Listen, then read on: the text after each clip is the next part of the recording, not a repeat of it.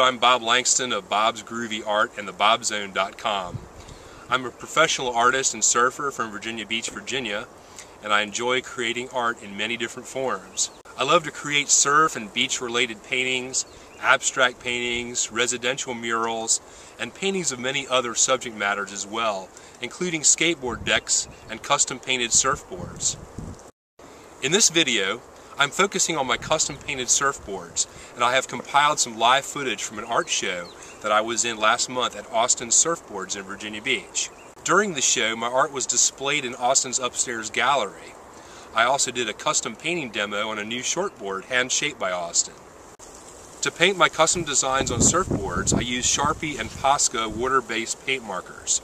They basically consist of acrylic paint compressed into paint pen format, and they're really fun to use. So here's the footage of the art show. Enjoy. I didn't know what it was. I, it was, I thought it was a big bass. I reeled it in, and it was like this big salamander. It was like it was about this big.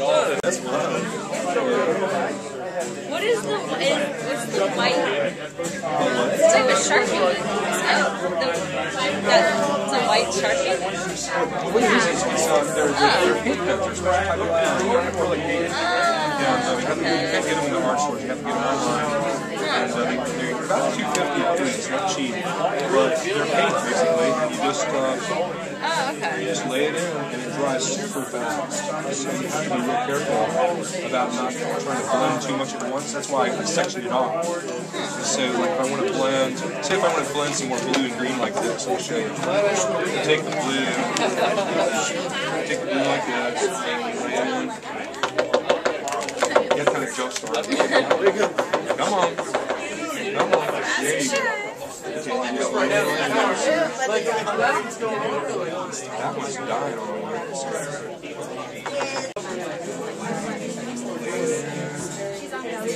And while it's still wet, you have to blend it while it's still wet because they, they dry wicked fast.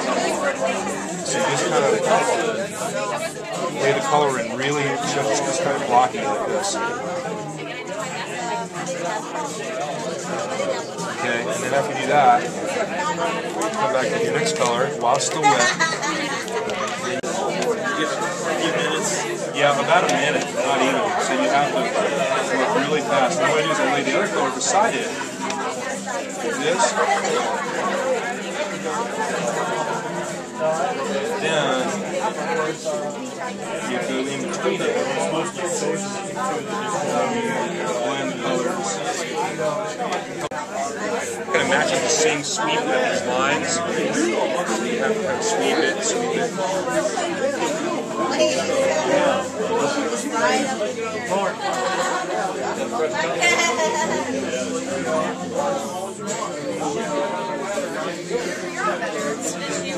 Always just draw, or do you used to like I'm sorry, what? what other mediums?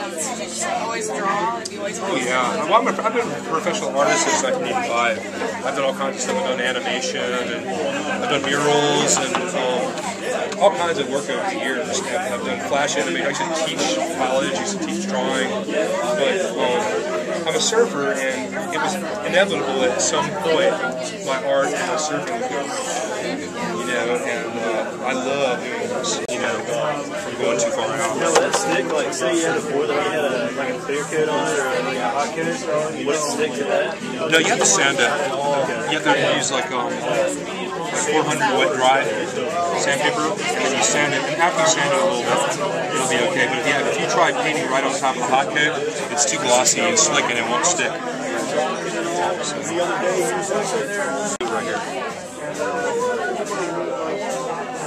Black outline around it. It really makes it pop out.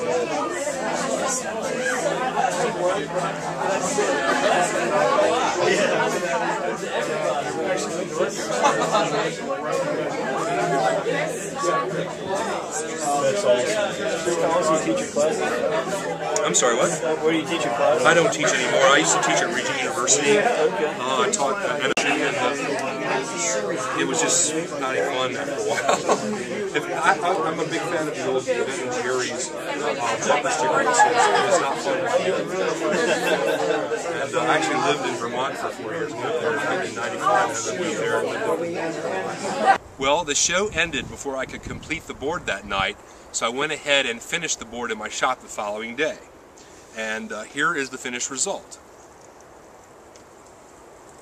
Some people like to wax the painted custom boards and ride them, and some people have commissioned me to paint boards that they specifically want as art to hang on their walls in their homes or their businesses. Um, this board has not yet been fixed, but uh, when I bring it back to Austin today, he's going to uh, put a clear coat on it, and then if you want to surf it, you can wax it up and ride it, or you can hang it up on the wall as a decoration and uh, as a piece of art for the wall. Here are two more boards that I painted recently. I painted this one during the Steel Pier Classic art show at the Oceanfront last May. It's my son Daniel's old competition board. He's outgrown it now, but he keeps it on display in his room. Some crazy piranha-like fish here. This one is one of my boards, a performance shape by veteran shaper Bill Frierson. I painted this design during the Neptune Festival art show last this past September. And Austin is having a board swap on, on Saturday, April 10th. And this will be on display and also for sale during the event. Okay, that's all for now. Thanks for checking it out. You can see more of my artwork at my website, thebobzone.com. Also, while you're there, check out the links to my blog, where you can discover the latest news in my art world, and also the links to my Facebook fan page, where I periodically stage contests for free print giveaways and other things. Right now, I'm getting ready to put up a frame-by-frame -frame comic strip, and so check it out every other day or so and see the new panel to the adventure. Okay, thanks for watching. Peace.